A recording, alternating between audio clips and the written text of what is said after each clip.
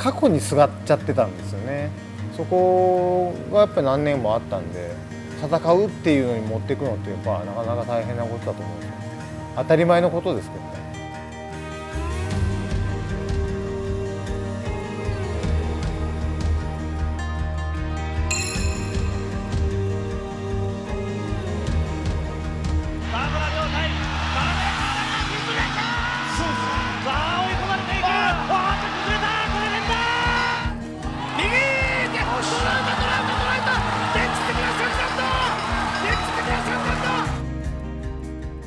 過去がじゃあ何してくれるの？って話じゃないですか。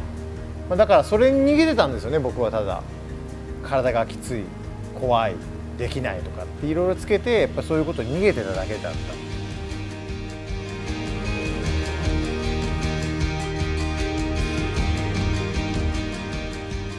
ビーズラブ横浜はまだ生きてます。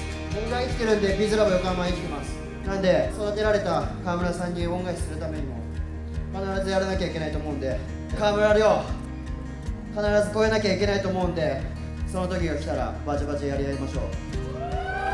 これがパンクラスの歴史だと思うんで。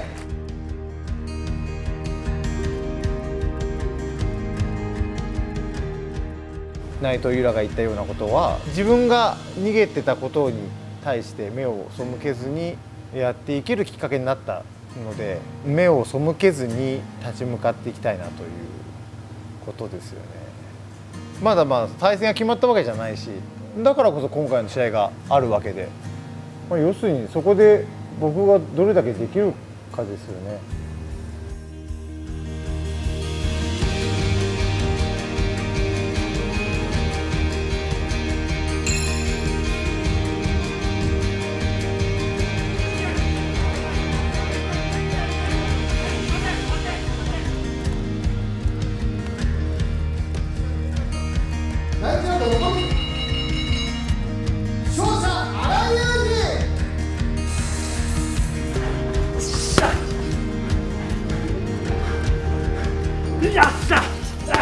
私にとっては非常に大きな存在でしてチャンスをいただいたことに驚きであるとともにすごい感謝をしておりますので感謝の気持ちを持ってぶっ倒しにいきたいと思います。最後まで動き続ける気持ちを見せられる試合をしたいします。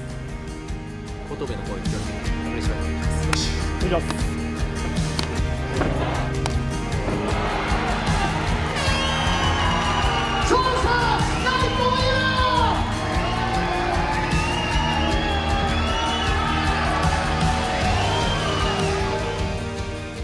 かませ犬客観的に見たらかませ犬かもしれないですけどまあ噛みついてやって血まみれにできたらと思っています。一戦に全てをかけたいと思ってます。